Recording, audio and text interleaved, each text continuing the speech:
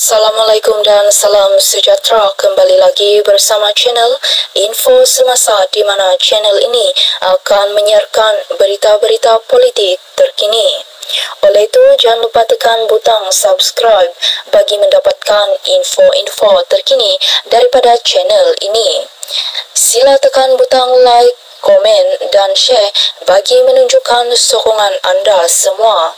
Terima kasih yang tidak terhingga.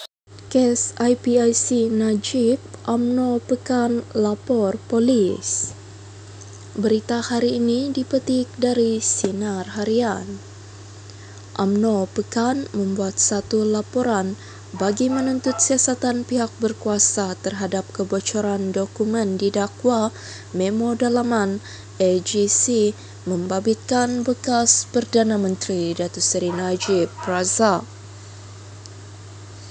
Laporan itu dibuat Ketua UMNO Pekan Datuk Muhammad Fakhruddin Muhammad Arif di Ibu Pejabat Polis Daerah Pekan pada Sabtu lalu bagi mewakili kepimpinan sayap dan ahli-ahli parti itu.